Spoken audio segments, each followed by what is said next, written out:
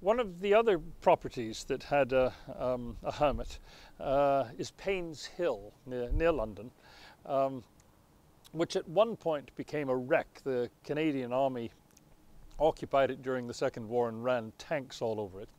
But it has been lovingly restored by a, a local trust uh, and is now a magnificent property to visit. And one of the things that has been restored is the Hermitage, which has been erected in the same spot um, based on the drawings of the original Hermitage at Painshill.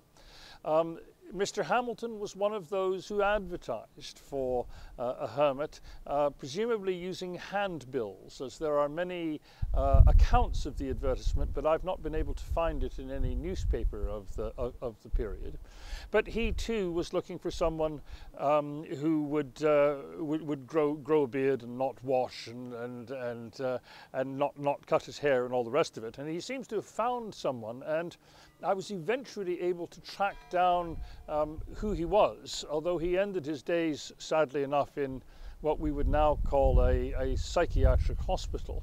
How he lost his, his post isn't clear, but the story that goes back to the early days is that after a few weeks as a hermit, he was found in the local pub and hermits weren't allowed to, uh, to, to, go to the pub.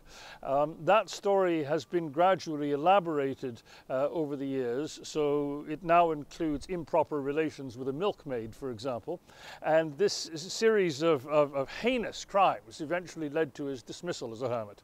And this was always a very serious business, as, as getting a replacement hermit uh, was never entirely um, easy. In the event, because of the payment system, he didn't stay for the seven years that was required to, uh, to, to, collect his, his, his pay. And in any case, even if he had uh, stayed out of the pub and kept away from milkmaids, uh, he couldn't possibly have collected his money because Mr. Hamilton, who owned the estate, went bankrupt, so he wouldn't have been paid anyway.